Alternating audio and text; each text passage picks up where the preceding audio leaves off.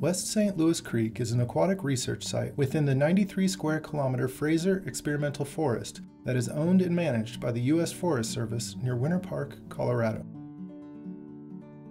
At an elevation of around 9,521 feet, this mountain creek is nestled within an evergreen forest that lies just west of the Continental Divide. Automated instruments collect physical and chemical properties of the stream, surrounding riparian area, and the atmosphere. Observational sampling of aquatic organisms and biogeochemical processes are also collected at West St. Louis Creek.